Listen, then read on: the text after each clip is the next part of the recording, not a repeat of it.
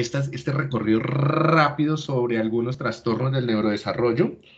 Eh, aquí voy a hablar de forma introductoria eh, y un poco superficial sobre el TDAH. Si quieren profundizar sobre este tema, en el canal hay una, toda una lista de, de videos sobre TDAH donde se profundiza bastante sobre su neurobiología, antecedentes, historia, eh, eh, formas de intervención, formas de evaluación, etcétera. ¿sí? Entonces aquí voy a mencionar varios de esos componentes, pero de forma muy superficial para, para pasar a otros trastornos del neurodesarrollo. Bueno, bien. Entonces, eh, lo primero que hay que decir es que igual que con todos estos trastornos del neurodesarrollo, no con los síndromes, sino en general con las categorías semióticas, con las categorías diagnósticas, ¿eh? es que no, es que son formas de ver el funcionamiento de las personas. Entonces son categorías que han creado principalmente personas desde una postura médica, ¿sí? para entender o para agrupar a, las personas de acuerdo a su nivel o características de funcionamiento, ¿cierto? Pero recuerden que, estas, que estos conceptos, estas categorías, no son iguales a las categorías de las enfermedades físicas, ¿sí? Entonces, mm, eh, es un problema enorme. Por un lado, llamarlos trastornos, por otro lado, llamarlos enfermedades, ¿sí? Eh, y hay que mirar con cuidado cuando los clasifiquemos, porque generamos todo un estereotipo, pero además esto está enmarcado en toda una lógica eh, de, la deseabilidad social, ¿no? Y también un poco de la, de la, de, la predicción hacia dónde tener, lo que tendrían que ser las personas, ¿no? Y este, y este concepto de TDAH, de trastorno de atención y hiperactividad, es uno de los que más, por lo menos a mí, me preocupa en las sociedades actuales, ¿sí? Igual que el de trastorno del espectro autista. Porque una vez se da la etiqueta es difícil quitarla y porque eso está marcado en unos, de, en unos, en, unos valores sociales hacia, hacia, lo que deberían ser las personas, que no tiene por qué ser así. ¿sí? Entonces ya, ya les voy a contar un poquito más sobre eso. Entonces, o sea, básicamente lo que hablo es el valor de la, de, de la atención y el estarse quieto y, y, y, de inhibición, donde pues aquí lo que tenemos es que una amplia variedad, variedad ¿no? No todas las personas están hechas, preparadas, desarrolladas y, tienen las herramientas para ni estar atentos por largo tiempo, ni para inhibirse o estar tan controladas por largo tiempo, ¿sí? Entonces sí que resulta problemático generar una enfermedad donde agrupe a las personas que tienen e, e, e, esas particularidades, ¿no? Eso, eso se vuelve bastante discriminatorio, ¿sí? Yo le llamo discriminación cognitiva.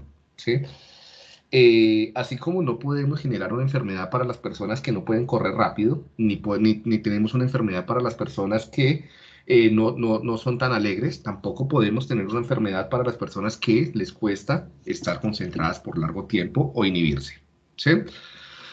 Entonces, en términos de la historia del concepto, eh, vemos que, por un lado, no existió por mucho tiempo, es un concepto relativamente nuevo, es un concepto que nace eh, alrededor de la mitad del siglo XX y va a ir cambiando durante el siglo XX y, va a tomar más fuerza en, el último, en las dos últimas décadas del siglo XX. ¿sí?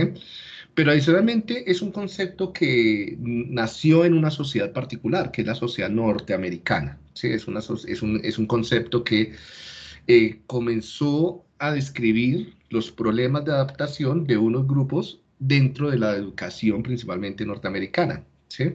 Entonces, es, eh, eh, eso nos permite entender un poquito más de dónde viene y por qué eh, pues hay, tasas más altas en Norteamérica, ¿no?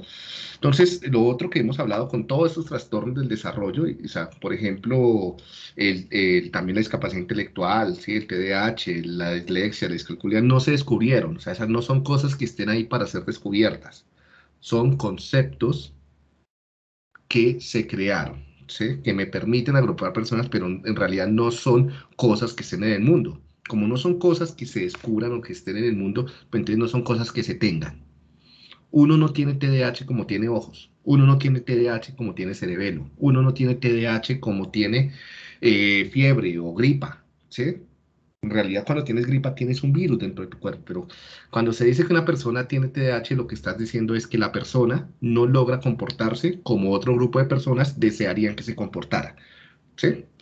Entonces, eso hay que tenerlo muy claro para cambiar nuestro lenguaje, para cambiar nuestro léxico. Dejar de decir esa persona es TDAH o es autista, o es depresivo, o es esquizofrénico, y también de decir tiene, no tiene, esa persona no lo tiene en ninguna parte.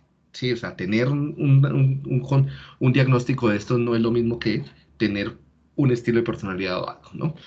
Entonces, es un diagnóstico. Entonces, la forma correcta de decirlo, como no es algo que se tenga, es, no sé, Camilo ha sido diagnosticado o recibió el diagnóstico de TDAH o recibió el diagnóstico de dislexia o recibió el diagnóstico de trastorno del espectro autista. ¿sí? Y con eso no es algo que él tenga, es algo que alguien más dijo que él, eh, eh, o es, un, eh, es una forma como otra persona lo vio a él, o lo valoró, o lo clasificó. ¿Sí?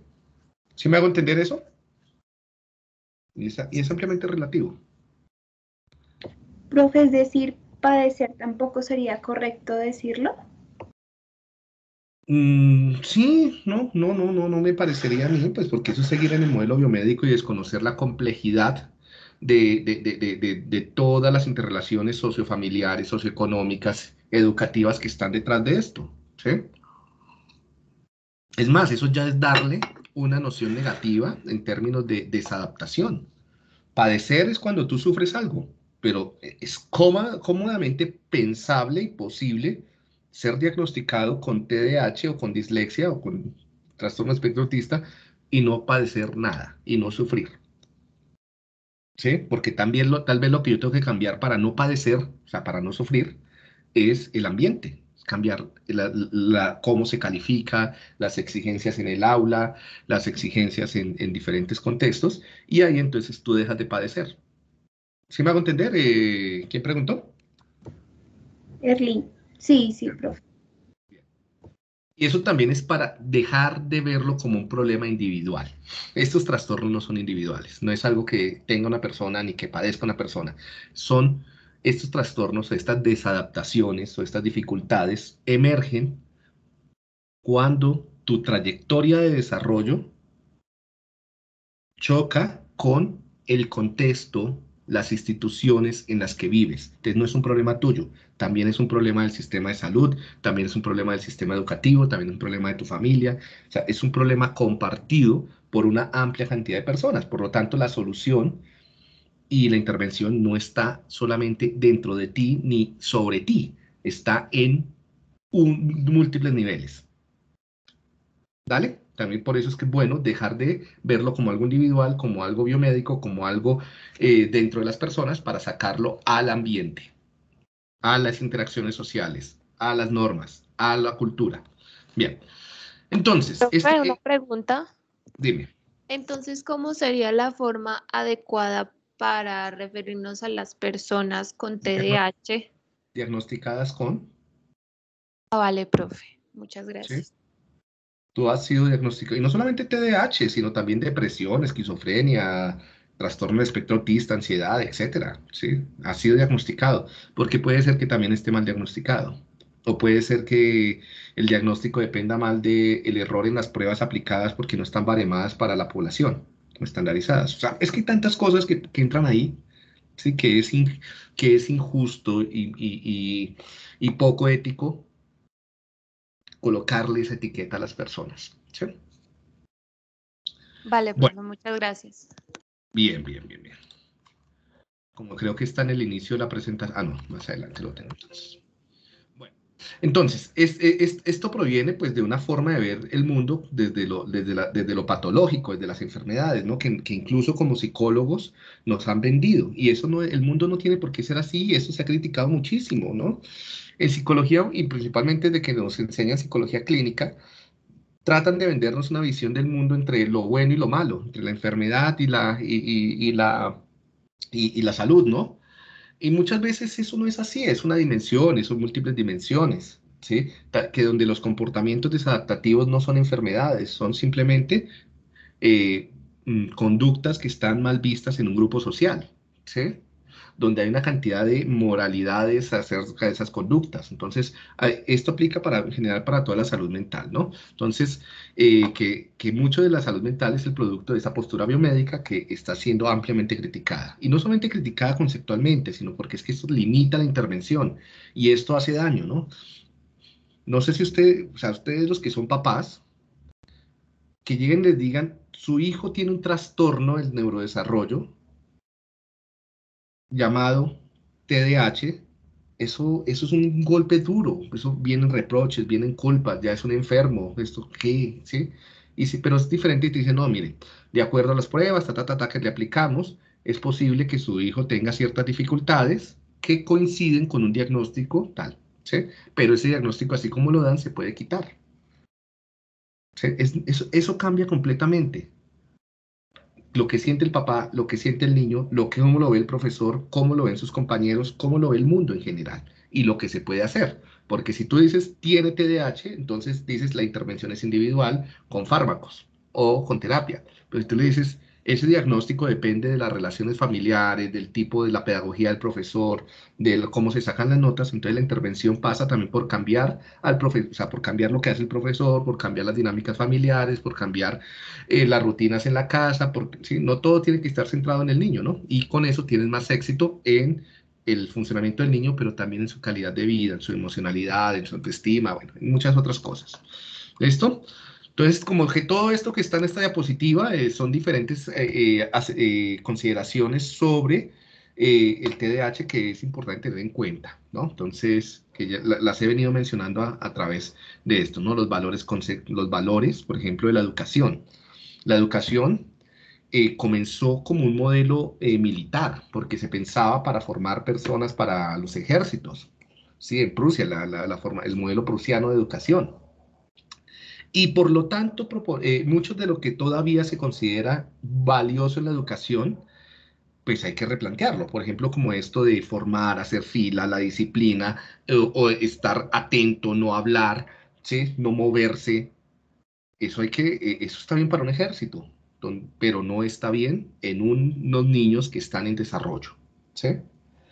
entonces, ah, profe, que usted quiere son chinos ahí descontrolados que no hagan caso y que eh, no, hay otras formas de desarrollar ese tipo de cosas, reconsiderando lo que, e, ese valor que tan alto que le damos a la disciplina, al orden, al, quietico, calladito se ve más bonito, ¿no? O sea, recuerden, por ejemplo, eso de cuando están hablando los adultos, los niños no hablan, ese tipo de pautas de crianza, ¿sí? Entonces, eh, eso es lo que hay que replantear. Eh, bueno cosa que se mezcló acá, que más adelante lo retomaremos, es todo el mercado de la, medicación, ¿no? Desafortunadamente, y ayer alguien lo decía, por ejemplo, cómo nos manipulan en términos de las ventas y demás, hay otra manipulación también y es sobre la enfermedad. Se crean enfermedades para vendernos curas y esto es un negocio enorme, enorme, enorme, enorme. ¿sí? O reformas de rehabilitación o aparatos. ¿sí? Con los últimos modelos diagnósticos han relajado el diagnóstico de muchas enfermedades mentales, como el TDAH, como la depresión, el, trastorno de ansiedad, pues para vender, porque muchas veces esto cae en manos de psiquiatras y lo que se venden son pepas. ¿Sí? Y la medicación, entonces no hay medicaciones que curen o traten enfermedades mentales. Eso hay que tenerlo muy claro. Las medicaciones lo que hacen es modificar el funcionamiento del cerebro, pero no necesariamente el funcionamiento eh, en, el contexto. Para eso necesitamos psicólogos. Eh, bien, de acuerdo al, al, manual diagnóstico de las enfermedades mentales DSM-5, ¿sí? Eh, bueno, pues esto ha cambiado. se amplió la edad de aparición hasta los 12 años, antes era solamente hasta los 7. ¿Sí? Y se relajaban un poquito los criterios, ¿no? Eh, en el CIE-10 se incluyó entre los trastornos del neurodesarrollo, se reemplazó el trastorno hipercinético, ya no existe, y pues se mantienen las tres categorías similares a las, se ajustaron a las del DSM-5, que son las de inatento, impulsivo, eh, hiperactivo y, y combinado, ¿sí? Bueno, en la actualidad, pues lo tenemos que saber que los casos diagnosticados con TDAH son múltiples perfiles. Primero, no son todos iguales. aquí hay de todo, hay una, diversidad enorme y por eso no me gusta eh, esa clasificación tan gruesa en tres perfiles. Eh, hay múltiples etiologías, como lo hemos visto, biológicas, psicosociales, culturales, socioeconómicas. ¿sí? Hay una, un universo enorme de técnicas de intervención, individuales, familiares, sistémicas, educativas, tecnológicas, neurofeedback, farmacológicas. Bueno, hay, sí, hay de todo y pues también hay, hay, hay muchas que son buenas, hay muchas que son más... Eh, farsa, por ejemplo, todo esto de, las técnicas tomatis y eh, eh, eh, eso no sirve, eso ya, eso, está, eso ya, ya hay bastantes trabajos que incluso las condenan, pero yo he visto varias páginas de internet que ofrecen supuestamente neurotécnicas de rehabilitación, neurofeedback y ese tipo de cosas mal aplicadas y son fraude. ¿sí? desafortunadamente. O las técnicas de estimulación auditiva o ese tipo, no, son, no, no, no, no, no hay evidencias que digan que sirven. ¿sí? Y en últimas, entender el TDAH, tratar el TDAH, eh, requiere otros, requiere un equipo interdisciplinar de, profesionales, incluso diagnosticarlo. Vemos que esta es una enfermedad con unas tasas cada vez mayores. Año tras año se incrementan los casos diagnosticados con TDAH, principalmente en Estados Unidos. ¿Sí? Y este diagnóstico comenzó a incrementarse desde la década de los 90. Eh, acá iban en el 2007, actualmente ya son tasas cercanas al 20%, o sea, el 20% de, de, de, los niños eh, norteamericanos son diagnosticados con trastornos de atención y hiperactividad, o sea, 2 de cada 10.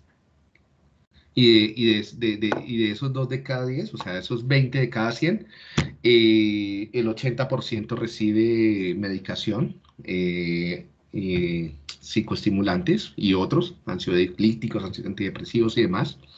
Quiere decir que cerca a 16 niños de cada 100 están recibiendo medicación por TDAH eh, eh, y que está alterando sus procesos de neurodesarrollo. Esto es gravísimo, pero pues como que nadie le para bolas. Es un lobby en términos de mercadeo enorme. al igual que otros trastornos del neurodesarrollo, es más prevalente en hombres que en mujeres. ¿Sí? Y, o sea, si multiplicamos esto, si son cuatro de cada una, entonces en últimas de 100 niños, alrededor de casi 35, 40 niños está recibiendo medicación psiquiátrica por TDAH. Casi la mitad, o sea, es tenaz el panorama, ¿no? Eh, entonces veamos, son 6.1 millones de niños, ¿sí? Eh, diagnosticados con TDAH 388 eh, mil entre 2 y 5 años, solo en Norteamérica, ¿no? 4 millones entre 6 y 1 años, y 11 años digo, y 3 millones entre 12 y 17 años. esto solamente en un país. O sea, miren el negociazo, ¿no? Este es el negocio socio. Venderles pepas a estos chinos. Eh, vemos entonces que las prevalencias son mayores en hombres, enormemente, principalmente hombres que son eh, de, blancos. Bueno, acá como que no hay tanta diferencia. ¿Sí? Pues porque es el negocio.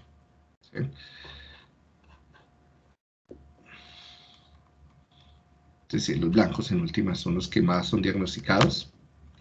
Vemos el progresión, entonces lo que yo les decía, entonces, actualmente incluso las tasas pueden llegar al 15 al 20% en hombres en Norteamérica que este es 2016, cada vez más cercano, pero en todas muestran lo mismo, ¿no? Y es una progresión en el diagnóstico, ¿sí? Principalmente en los norteamericanos blancos, o sea, ser norteamericano, blanquito, eh, eh, eh, es un factor de riesgo enorme para sufrir de TDAH, y eso no tiene nada que ver con genética, es puramente cultural, puramente mercadeo.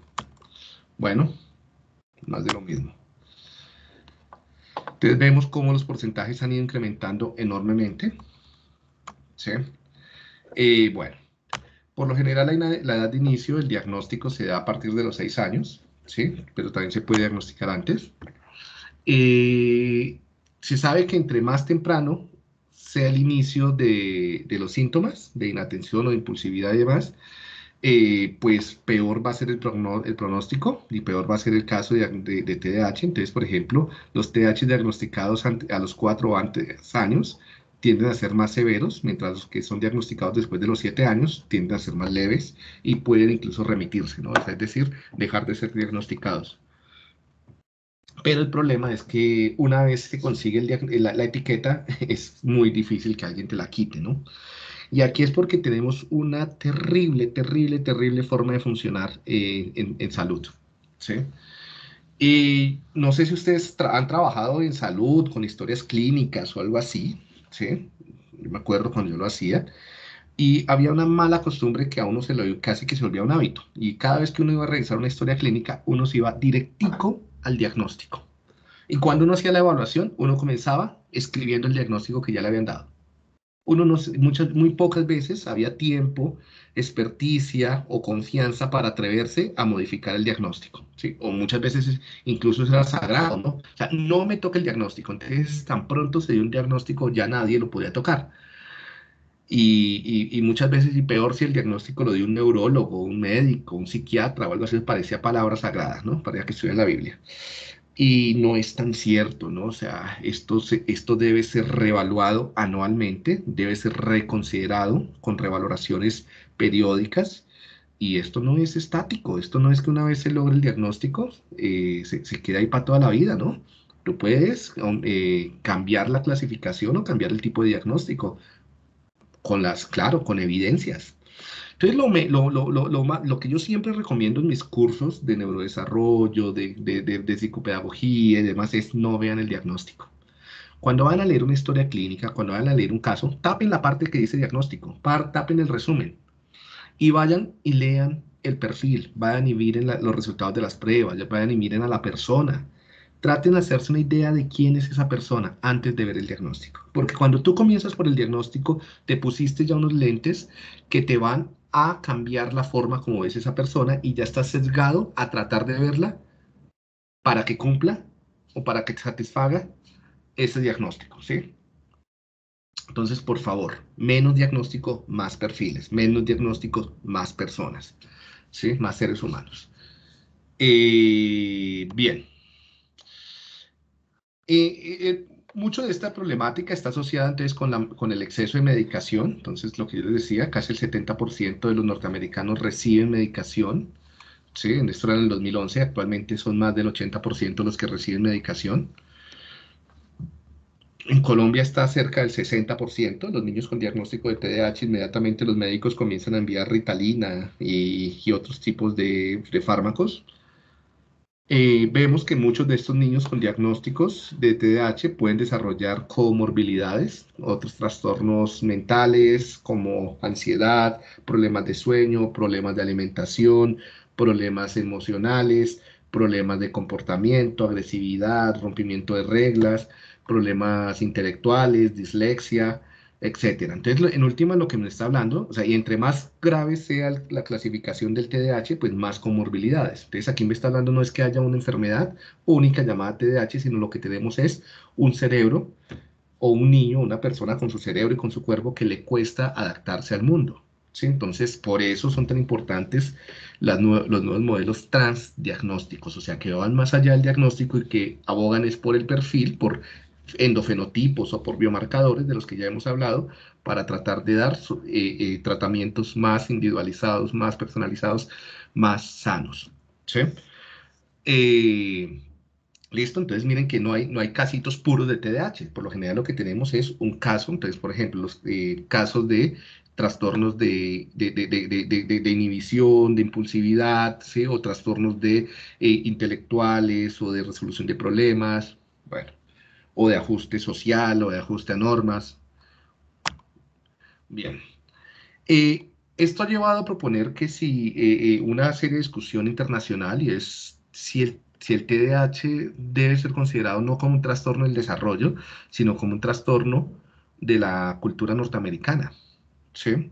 Y que a través de la globalización y como ellos son los que dominan muchas de las publicaciones en el mundo, pues nos han vendido esa idea de, de, problema, ¿no? Y que tal vez el problema es ellos que tienen una forma cultural de ver rara el desarrollo de los niños, ¿sí? que y un mercado de, y unas farmacéuticas agresivas que tratan de ganar cada vez más mayor cantidad de clientes, ¿no? Entonces vemos que, claro, que en comparación con otros países, Japón, eh, España y demás, miren las tasas tan pequeñas, menos incluso algunos como Italia, tal es un ejemplo grande, tiene tasas inferiores al 1%, mientras que en Norteamérica las tasas, estas tasas son conservadoras, en realidad están por encima del 10%. ¿Sí? Eh, esto, claro, está en el 2014 si vemos la cantidad de personas diagnosticadas, vemos que en, Europa son muy poquitas personas en comparación con el montón de personas con diagnósticos en Norteamérica. Sí, entonces son raros. o sea, esos, gringos tienen genes eh, diabólicos, genes que los hacen enfermos. O tal vez su cultura, su sistema de salud, sus farmacéuticas, sus modelos educativos son los que no están siendo adecuados. No sé ustedes qué piensen. Cuéntame, Angélica. Profe, pues yo pienso también que eso viene asociado al tiempo que están en familia, ¿no? Vamos en Europa, creo que es mucho más tranquilo el, tema y son menos horarios laborales. En cambio, en Estados Unidos es eh, tiempo 24/7 y los niños, entonces los papás piensan en solucionar el problema del niño a punta de pastas en vez de ver la parte social. Sí, tú tienes razón. las pautas de crianza y los modelos eh, de, eh, familiares muchas veces y de inversión parental y la nutrición, ¿no? En Norteamérica puede ser bastante complicada, ¿no? Muchas veces se cree que la nutrición, o sea, es terrible, uno lo ve en estas películas del día eh, y uno le parece como cotidiano, ¿no? ¿Se han visto los almuerzos? ¿Cuáles son los almuerzos de los gringos? Para el colegio, para el trabajo y para todo. ¿Qué es lo típico que, se ve en las películas que almuerzan? Hamburguesas, pizzas. Ni siquiera sándwiches. ¿No han visto que siempre que preparan las, las caricaturas, Pedro Picapiedra y todo esto, que, que es lo que le mandan, o en las bolsitas de los Simpsons, qué es lo que hay dentro de esa bolsita de papel? Un sándwich. Comen sándwich a toda hora, siendo tan nocivo desde niños, ¿no? Y en los colegios y demás. Entonces, se une una cantidad de cosas, de modelos de familia, de inversión de tiempo parental, de eh, el, balance entre trabajo y, y, y, y, familia, ¿sí? Entonces, que sí ponen en, riesgo el desarrollo de los niños. Yo muchas veces cuando veo tantos familiares, amigos, eh, gente conocida que su sueño es irse para Norteamérica, digo, pero oye, es que no piensas en tus hijos. No, es que allá los colegios son mejores. Seguro que son mejores los colegios con toda esa cantidad de, problemas del desarrollo, de, de drogas, de abuso, de adaptación de depresión, de los modelos escolares son bastante problemáticos, ¿no? No ve solamente en películas y todo lo que uno, ve y escucha, eh, eh, no desearía yo nunca ni haber estudiado ni que mis hijos estudien en un colegio de estos, ¿sí? Y la nutrición tan pésima que hay en general, donde conseguir buena comida es carísimo, entonces no sé cuál es el sueño norteamericano de muchas personas. ¿Sí? Eh, bien. En Colo eh, esto es un mapita que nos muestra, más o menos creo que esto es como el 2014, algo así, 2016, eh, como el patrón a nivel del mundo. Entonces vemos la amplia, eh, definitivamente la tasa siempre más alta es en Norteamérica. Vemos cómo eh, a través Italia se va a tener siempre unas tasas más bajitas de TDAH por el tipo de lo que se ha estudiado intensamente. Eso tiene que ver con el tipo también de familia, educación, inversión social, sistema de salud y demás, y la unión entre sistema de salud y sistema educativo. En Colombia las tasas son inconsistentes. Aquí nos dicen Colombia. Eh, Colombia eh, están alrededor del, eh, del 2% al 6%, pero depende de los estudios. Ahora les muestro algunos, ¿no? Bien, entonces vean que sí hay disparidades enormes en términos culturales, eso es en adultos. Estos son diferentes estudios, un metaanálisis que comparó las tasas de diferentes estudios, encontró que, claro, siempre es mayor en hombres que en mujeres. ¿Sí? eh, más en niños que en adolescentes, pero cambia muchísimo. Y, respecto a la, proporción, a la prevalencia estimada, vemos que, por ejemplo, lo que es en África y en Sudamérica, si e, e, es, esta barra lo que nos indica es la dispersión de, los datos, o sea, ¿sí? la diversidad de, los datos. Entonces, unos estudios encuentran, por ejemplo, tasas cercanas al 1 o al 0. Otros estudios encuentran tasas cercanas al 18, ¿sí? En África solamente cuatro estudios. Entonces quiere decir que uno, está, uno estaba por acá, el otro por acá, el otro por acá el otro por acá. ¿Por qué? Porque son, no hay instrumentos rigurosos para medir, no, los, los, autores no se ponen de acuerdo en los criterios de, de, inclusión, exclusión, o sea, porque metodológicamente es un desastre. ¿sí? Lo mismo en Sudamérica, incluyendo todos nuestros países latinoamericanos. ¿sí? Uno lo que encuentra es una dispersión. Hay estudios que muestran tasas cercanas al 2%, hay estudios que muestran tasas cercanas al 15-20%, incluso acá en Colombia, en Bogotá se hizo un estudio que encontró tasas cercanas al 30%. Tres de cada niño será diagnosticado con TDAH. Y cuando uno miraba por qué ese estudio encontró eso, pues resulta que es que lo hizo un médico que supuestamente era el super eh, gurú del Rosario, y el médico lo que hizo fue mandar a sus estudiantes de, eh, medicina a aplicar una escala de 10 preguntas. Y pues eso no tiene validez, eso no tiene, eso metodológicamente fue un desastre ese estudio, pero eso pasó a las estadísticas. Entonces, eh, eh, lo que sabemos es que es muy difícil saber en realidad cuál es la condición de TDAH, por lo menos en Sudamérica y en África. Y que falta más rigor, falta más rigor, o sea, tenemos que ponernos más serios con cómo medirlo, cuándo medirlo, con qué medirlo, ¿sí? Y además, esto refleja también una pobreza en, en, el sistema de salud, en el sistema educativo, ¿sí? en la preparación de los profesionales, como que a nadie le importa, ¿no?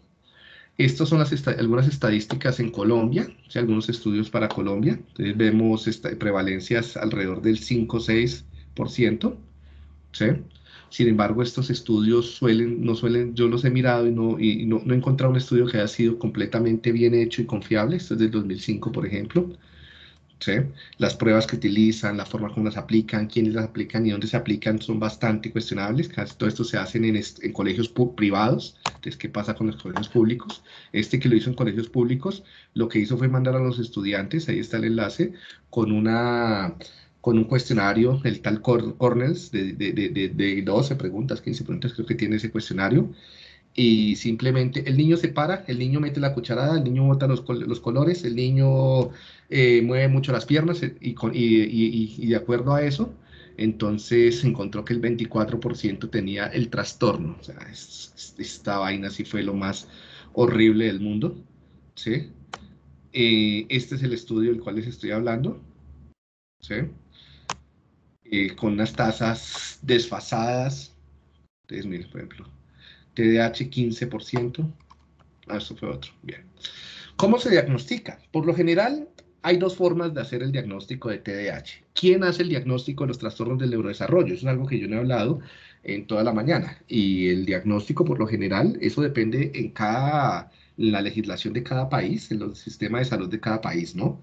En Colombia, y, así funciona en gran parte de Sudamérica, eh, no hay reglas claras de quién debe hacer el diagnóstico de los trastornos del desarrollo, discapacidad intelectual, trastorno de atención y hiperactividad, trastorno del espectro autista, trastornos del aprendizaje, no está claro, ¿sí?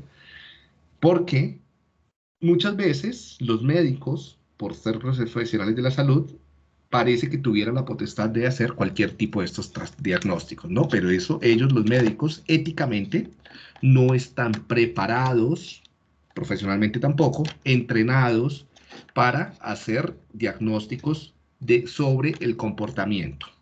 Tal vez los psiquiatras, ¿sí? Entonces, tal vez los psiquiatras pediátricos podrían hacer este tipo de diagnósticos, ¿no? Entonces, una pregunta es, o sea, por un lado, ¿quiénes pueden? Y por otro lado, ¿quién, eh, ¿quiénes deberían? ¿Sí? Y quienes eh, están preparados para hacerlo. Entonces, ¿quiénes pueden en general los profesionales de la salud, que son médicos, eh, psiquiatras, pediatras, neurólogos, eh, psicólogos y ya. ¿sí? En Colombia solamente eso, ¿sí? en Sudamérica también. En, mm, ahora, ¿quiénes deberían? Pues deberían, pues, específicamente los psicólogos serían los idóneos, y en alguna medida, depende de su formación y preparación, los pediatras infantiles, eh, psiquiatras, psiquiatras pediátricos y neurólogos. ¿sí? Pero ahí yo lo revisaría con cuidado. Lo más, y quienes deberían, ahora sí, un equipo interdisciplinario, compuesto por profesores, compuesto por pediatras, compuesto por neurólogos infantiles, psiquiatra infantil y psicólogo infantil. Bien, y neuropsicólogo principalmente. Ahora, hay dos formas de diagnosticarlo, que es lo que les venía diciendo. Una forma es clínica, la otra es neuropsicológica. ¿Cuál es la idónea? La neuropsicológica. ¿Cuál debe evitarse? La clínica. ¿Cómo se hace el diagnóstico clínico? Pues basados en los criterios del DCM y del CIE-10. ¿Sí? De acuerdo a los criterios del DCM y CIE-10, entonces a través de una entrevista y de unas escalas, que por lo general son listas de chequeo, pero pues casi siempre se quedan en la entrevista, se, revisa si se cumplen los criterios diagnósticos. Esto es la semiología. Entonces, para el entonces hay, tres posibilidades de diagnóstico de acuerdo a esta visión clínica médica. La primera es que se diagnostique un trastorno con problemas de la atención. La segunda es que se, diagnostique un trastorno con problemas de la hiperactividad y la impulsividad. Y la tercera es que se diagnostique un trastorno donde hayan componentes de inatención y componentes de hiperactividad e impulsividad. Para diagnosticar un problema, un trastorno de inatención, deben cumplirse seis de estas. ¿sí? Y son fallas en prestar atención a detalles o descuidos, ¿sí?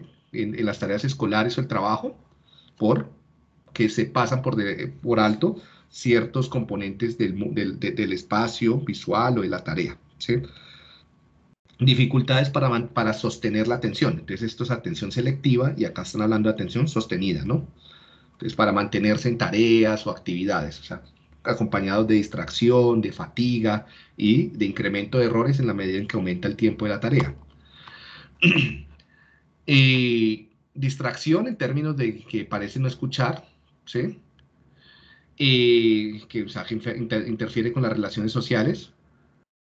No seguimiento de instrucciones o no terminar las tareas, lo cual, o los deberes laborales, o sea, como que pasar de una tarea a otra, ¿sí?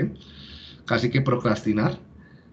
Eh, dificultad para organizar las tareas y actividades, entonces para hacer planes para terminar una tarea, primero voy a hacer esto, luego esto, luego esto, ¿sí? Eh, falta de, gusto, de ánimo para hacer, eh, para implicarse en tareas exigentes, mm, pérdida o extravío de objetos personales, distracción por estímulos externos en ambientes donde hay muchos estímulos interferentes, y olvidos que generan como problemas de memoria, ¿no? Se olvida una cita, hacer una tarea, apagarle la olla, eh, bueno, a que llegó a la nevera, cosas así por el estilo. Seis de esas, inatención. ¿Sí? Claro, tienen que estar presentes por más de seis meses y tener una historia del desarrollo. Seis eh, de estas, impulsividad. Entonces, eh, eh, mover mucho las manos o los pies, eh, levantarse mucho del puesto, correr o no quedarse quieto en ambientes en los que no debería ser, incapacidad para implicarse en juegos porque no se cumplen las reglas o porque se rompen o porque no puede estar tranquilo, eh, dificultad para estarse quieto, ¿no? Para, o sea, para mantenerse en una tarea porque tiene que estar cambiando y moviéndose. Eh, habla excesiva y hablar rápidamente con intensa fluidez y, poca comunicación. Miren que acá hay un componente cultural también grande, ¿no? Frecuencia eh, impulsividad en las respuestas, como que no permite, no, no, espera que se termine la frase cuando ya está respondiendo, metiendo la cucharada, si levantando la mano.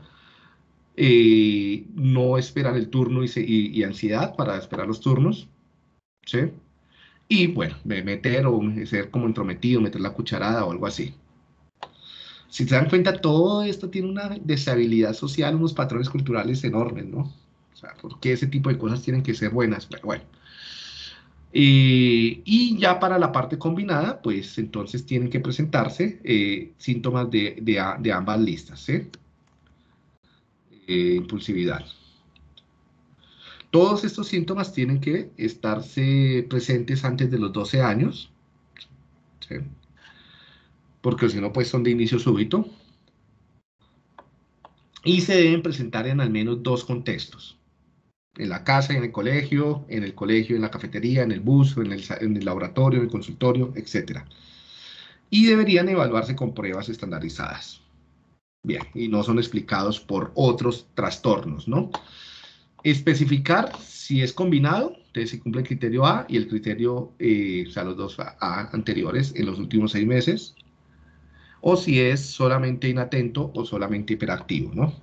Y remisión, o, bueno, y los, y los grados, entonces, eh, leves si pocos o ningún síntoma eh, eh, pues, se presentan cotidianamente, y moderados si hay, una, hay un deterioro en la adaptación, o sea, el, el, el, funcionamiento académico y la adaptación a las normas es gravemente se ve comprometido y grave si la mayoría de los síntomas aparecen ¿sí?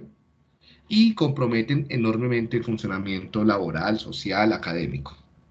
Bueno, ¿qué pruebas existen? Pues la, la mayor cantidad de pruebas que se usan y que no deberían usarse y que son terriblemente eh, malas para dejar el diagnóstico son las listas de chequeo tipo DSM. ¿sí? Acá tenemos una tipo Cornell, ¿sí? La mayoría, ¿qué es lo que hacen? Toman estos, la falta de creatividad y, yo no sé, rigor, escoger estos mismos puntos y volverlos preguntas.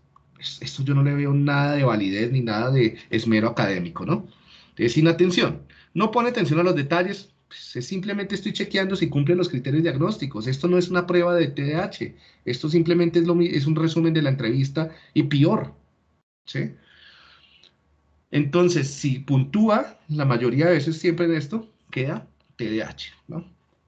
Entonces, esto es lo que más o menos se usa siempre para el, para el diagnóstico. Y, y, para mí, desde mi punto de vista, y no soy el único, esto tiene serios problemas éticos, metodológicos y conceptuales. ¿sí? Y aquí hay un conjunto. La, la, que más se utiliza es la escala Corners, que es la que se envía a padres y maestros, que no sé si ustedes la han tenido que desarrollar. Por lo general casi siempre lo tienen que desarrollar los papás.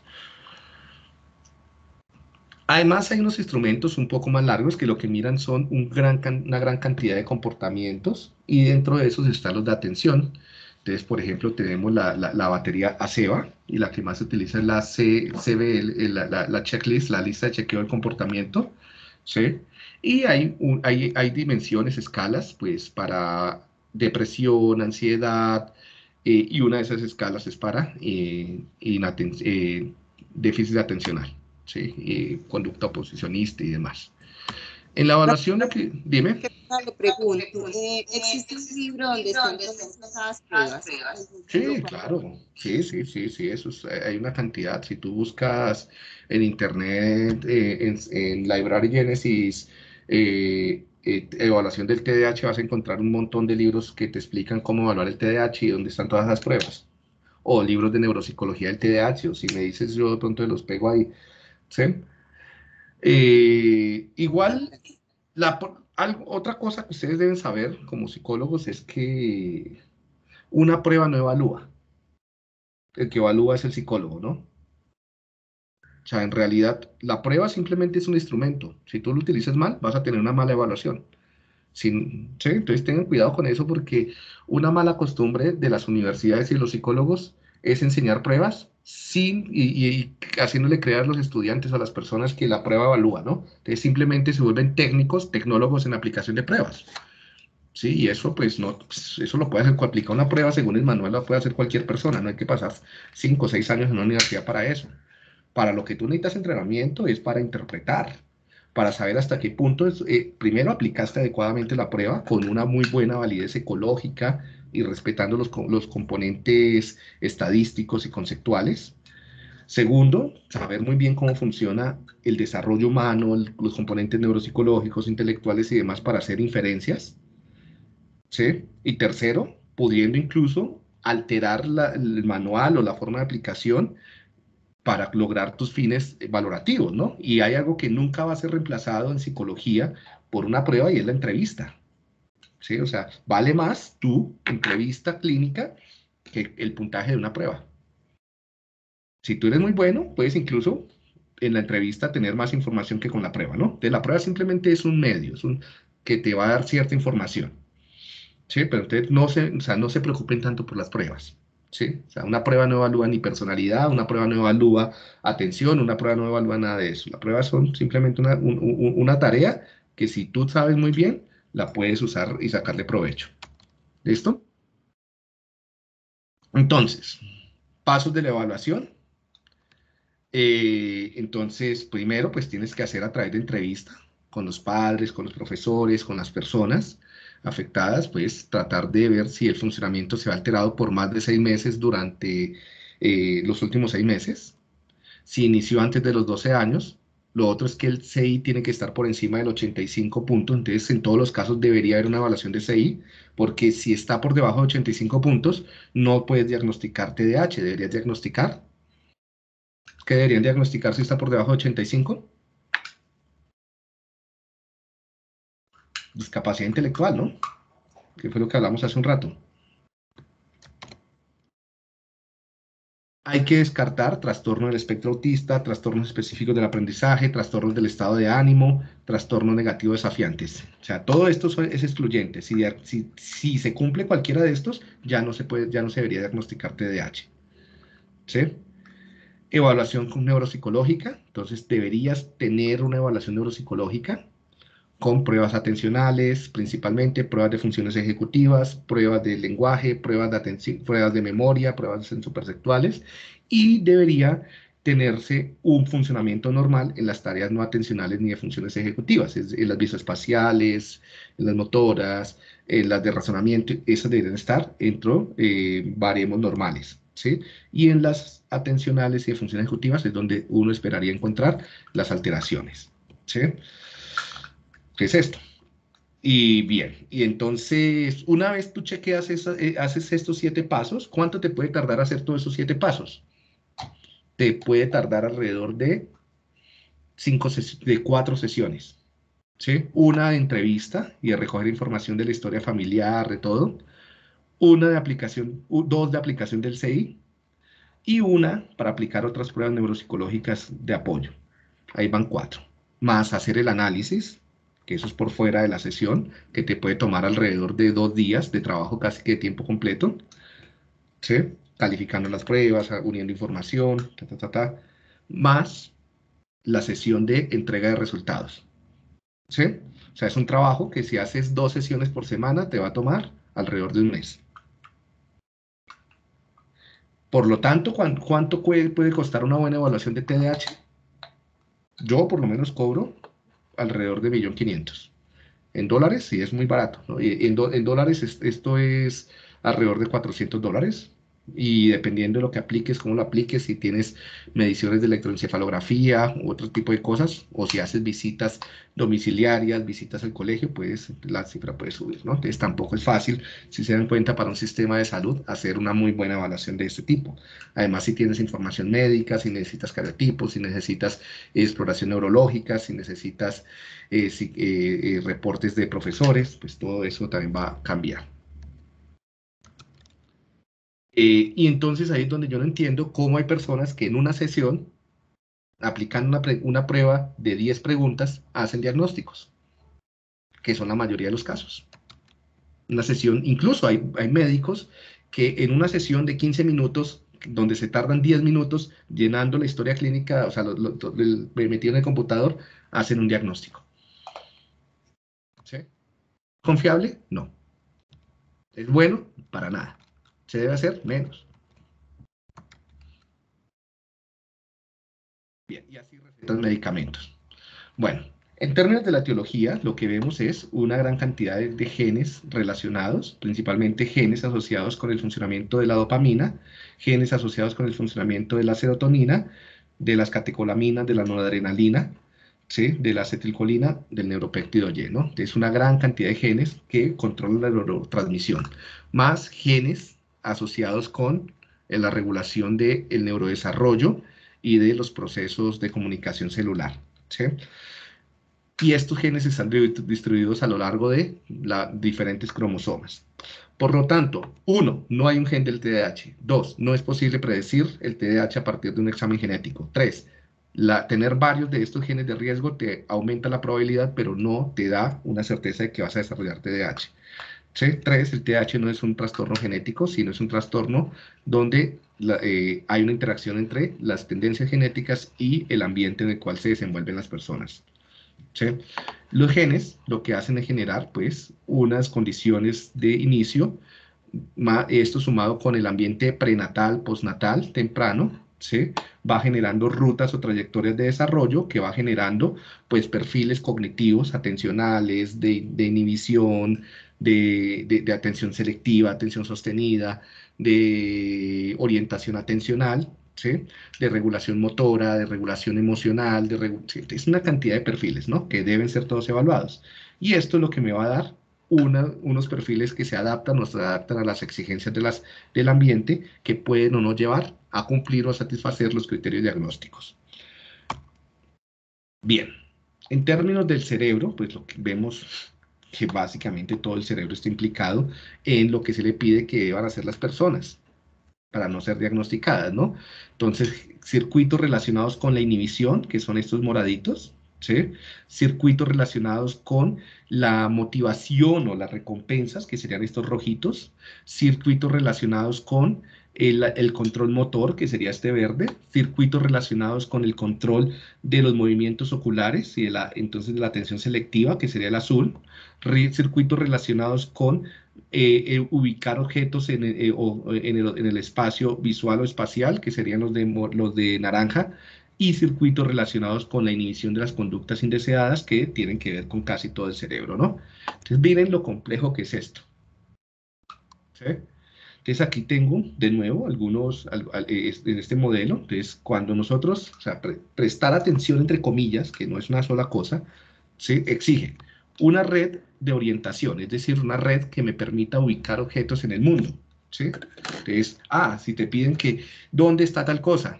O prestan, necesito ubicar los objetos en el mundo. Necesito esta red colinérgica de verdecito. Si esa red llega a fallar, pues lo que tú vas a tener son problemas para orientarte en el espacio, para ubicar y seleccionar objetos involuntariamente o voluntariamente que estén a tu alrededor. ¿Sí?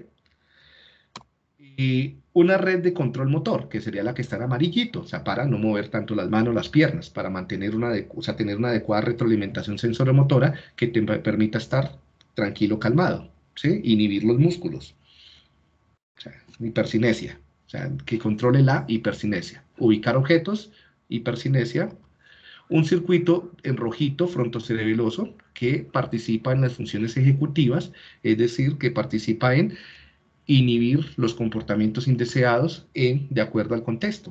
O sea, que no metas la cucharada, que eh, poder ponerte objetivos y que tu conducta sea rápida, más con eso, más con la fluidez mental, con la rapidez en la toma de decisiones, ¿sí? con responder adecuadamente al contexto. Una red, la, que está en azul, de recompensas para querer hacer las cosas, que es dopaminérgica. Entonces yo o sea, muchas veces lo que vemos es que la falta de, atención es porque no, te interesa lo que está pasando a tu alrededor. Entonces hay una falta de incentivo, una falta de motivación. Una red de inhibición, principalmente inhibición tanto motora, pero principalmente emocional, es para inhibir la ansiedad, para inhibir las ganas de hacer cosas, para inhibir la impulsividad afectiva, la labilidad emocional, esas emociones extremas, que sería esta que está en morado. ¿Sí? un circuito de control, ahí sí el de funciones ejecutivas, que eh, pues tiene que ver con la red de control cognitivo, es básicamente todo esto, que tiene que ver con, ahora sí, bloquear las conductas indeseadas de acuerdo a cada contexto. ¿sí?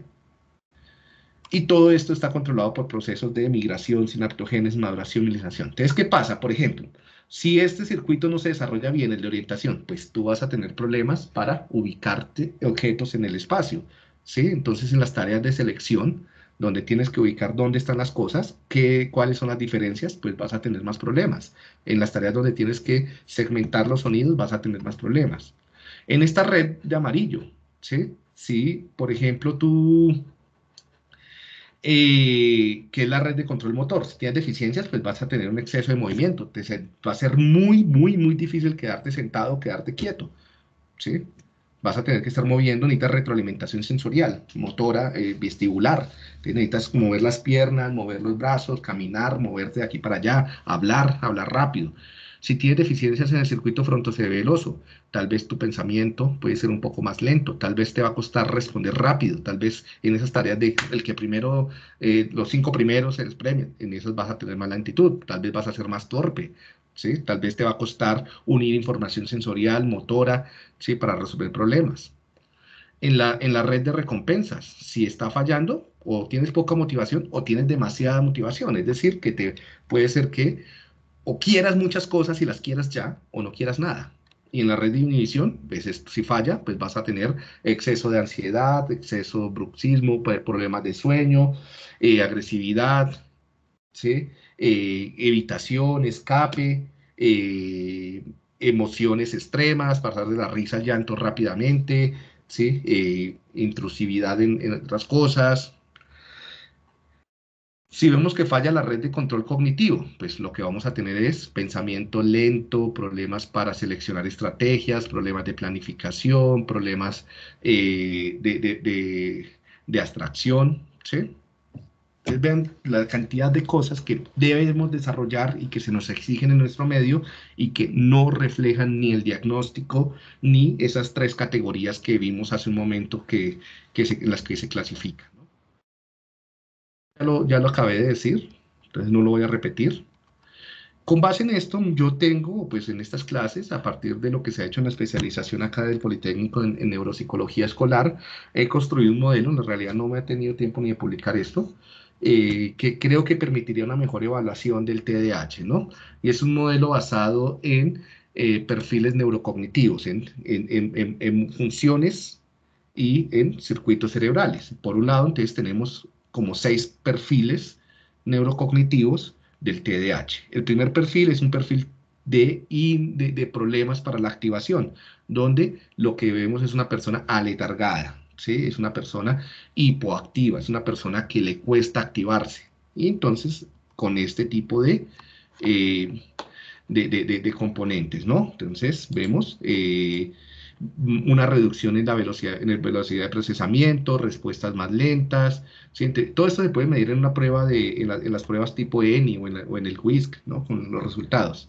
En el reporte clínico, mayor somnolencia, dificultad para mantenerse en las tareas, dificultad para cambiar de tarea, ¿sí? Eh, y baja sensibilidad a las recompensas. Y esto se puede comenzar a ver incluso lo que ustedes en el momento exponían, que era en el perfil de personalidad o en los rasgos de personalidades del primer año de vida. Un déficit de orientación, ¿sí? Entonces, lo que tenemos son problemas que les cuesta eh, ubicar objetos en el espacio, comparar eh, objetos, hacer cambio de foco atencional, combinar tareas eh, visuales con auditivas, van a fallar en todo esto, encuentre la A, encuentre el diferente, ¿sí? ¿Dónde está Wally? ¿Dónde está Waldo? ¿Dónde está Javier? Lo que sea, esas tareas de encuentre algo, ¿sí? Una menor memoria a corto plazo, eh, un incremento de olvidos por inatención y, problema, y también vamos a ver en este perfil de, de, trastorno de orientación eh, síntomas de falta de integración sensorial con problemas vestibulares, problemas para mantener el equilibrio, para caminar en una línea, para pasar de la izquierda a la derecha, con eh, torpeza, etc. Y muchos signos blandos desde la niñez temprana. ¿sí? Un déficit típico de inhibición, o sea, conductas desinhibidas. Entonces aquí lo que vamos a tener es emociones que van de un lado a otro, impulsividad, ansiedad, una altísima sensibilidad a las recompensas, ¿sí? un, tiempo atencional más corto porque se distrae, se tiene que estar cambiando de, tarea, ¿sí? bajos puntajes en tareas eh, y de inhibición como las go-no-go y, un menor, un pobre efecto Stroop, eh, conductas de hiperfagia, es decir, de pica, de estar comiendo todo el tiempo, problemas de sueño, problemas de agresividad, pataletas, llanto incontrolado, temperamento difícil, irritable, resistente desde los niños de menor, eh, desde el primer año de vida.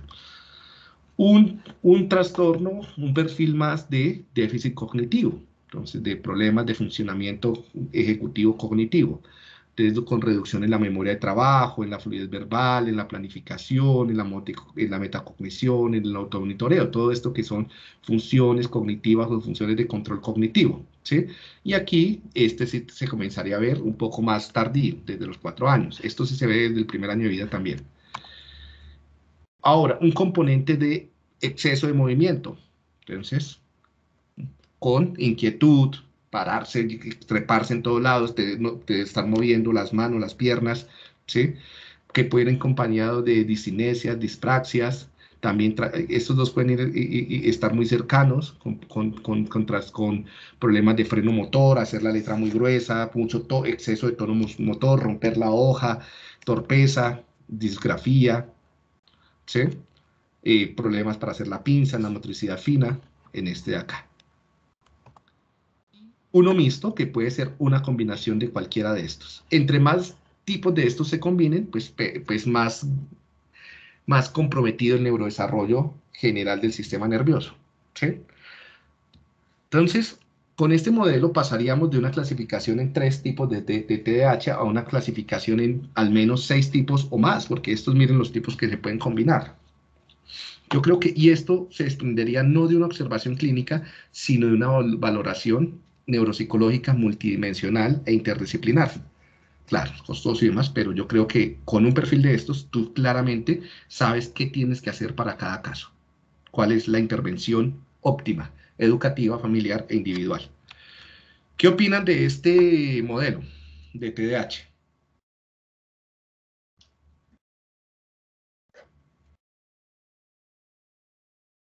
¿Les parece? ¿No les parece?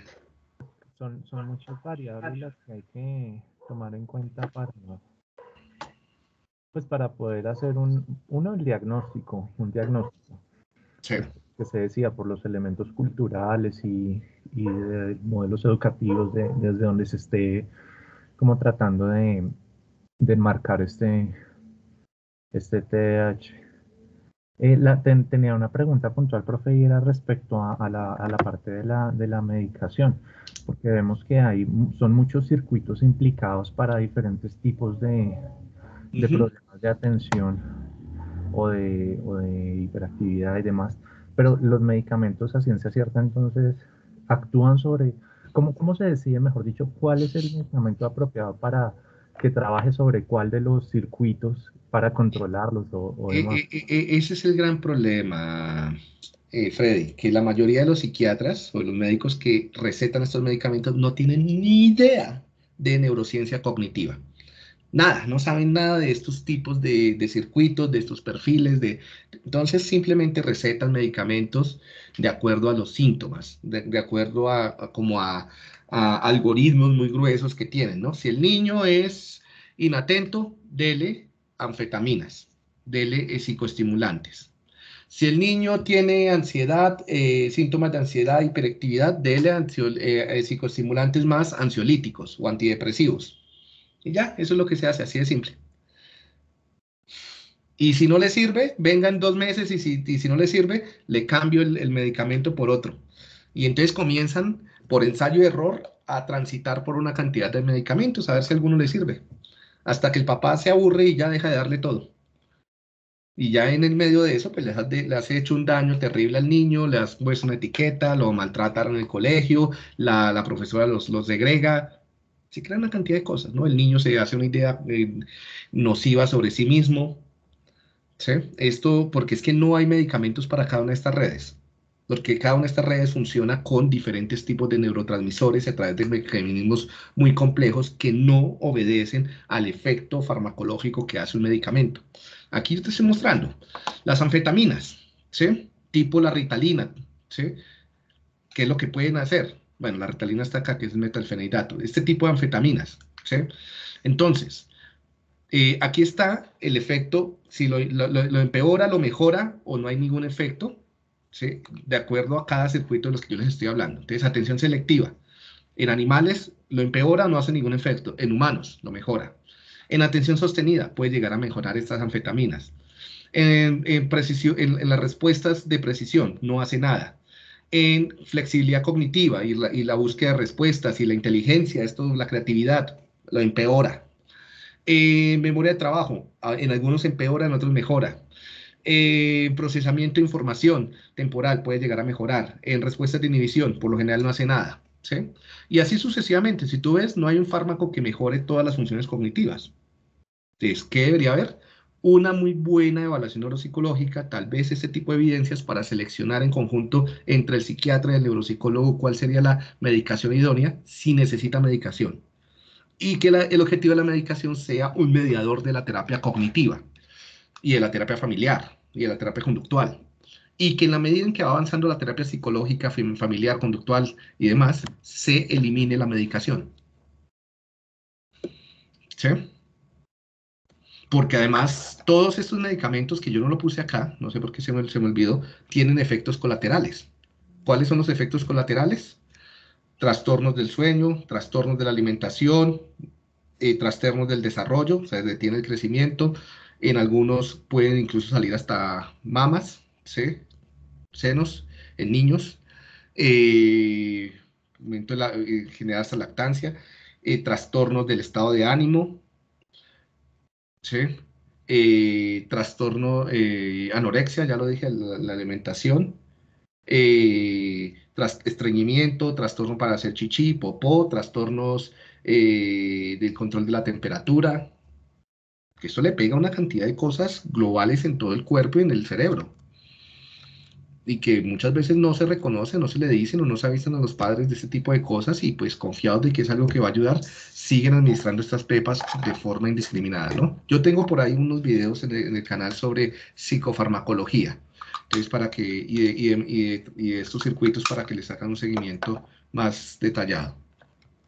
Y se convierten en, cosas muy adictivas, profe, porque muchos niños que son medicados, cuando ya son adultos, eh, van a consultar para que les formulen y para que les envíen ese tipo de medicamentos porque les hace falta. Si eso no les haga nada, pero ellos lo, ya lo usan es como, como depende, pues se vuelven dependientes totalmente de eso y, buscan la forma de, que les, de que les formulen y si este no les mandó ese medicamento que él quería, él va donde otro, pero mejor dicho, hasta compran eso ilegalmente.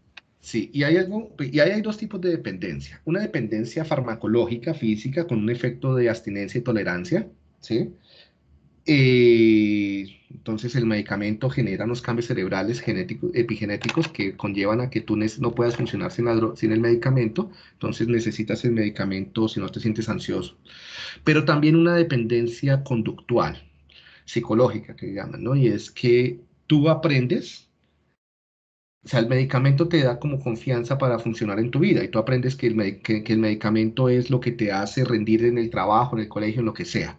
Y cuando no lo consumes, entonces pierdes confianza, pierdes eh, habilidad y entonces necesitas el medicamento para poder seguir funcionando. Lo mismo pasa con los antidepresivos, por ejemplo, ¿no? Entonces, entonces los dos tipos de dependencias suelen estar presentes y suelen combinarse. Bueno, vamos a dejar hasta que esto de TDAH, yo les dije que era un poquito largo. Pues porque hicimos todo.